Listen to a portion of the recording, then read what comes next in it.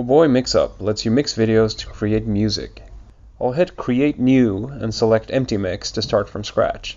You could also select a template with some beats already laid out. From the menu on the right, I can drag and drop clips. Clicking on them lets me preview what they sound like.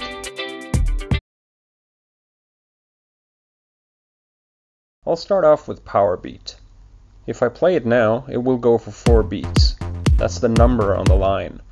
If I drag this out, I can make it play longer. If I wanted to play even longer, I can drag another power beat in there, like this. In case I change my mind, I can drag the clip to the corner to throw it away. I want a melody to play on top of my beat. Let's pick a blip hook. I drag it so that it doesn't go in the same channel. Now I have two tracks. I can listen to the tracks individually or hit play at the bottom and hear them together. Hitting preview shows the videos too.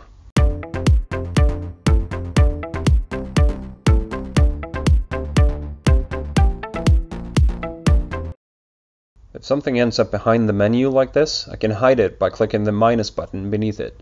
Now maybe I want just the first bit from Powerbeat to be repeated over and over. I can do that by taking the end of the channel and dragging it to the first clip. This gives me a loop. I set them to play 4 beats each.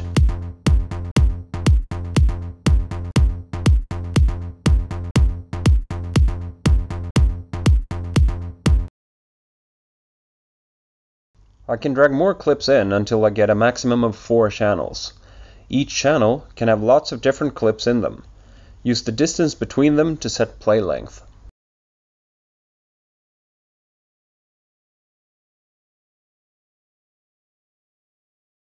Now that I'm done, or if I want to continue later, I'll hit save. Give the mix a name, enter your email address, and set a password if you want to continue later.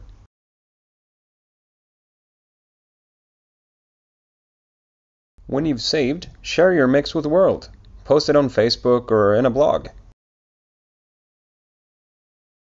Now try making your own mix up. Have fun!